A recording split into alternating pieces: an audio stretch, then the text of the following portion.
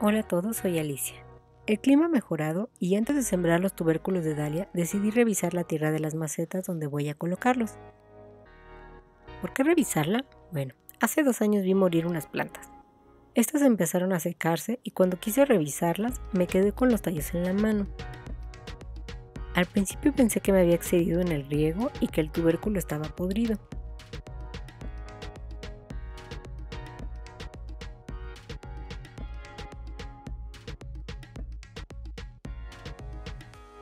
Al desenterrarlos, descubrí varias gallinas ciegas que devoraron algunos tubérculos. Es por eso que es importante revisar la tierra. Removí la tierra y saqué las gallinas ciegas una a una y las puse en un lugar visible para las aves. Afortunadamente, después de examinar las macetas contiguas, me di cuenta que esta era la única maceta que tenía el problema.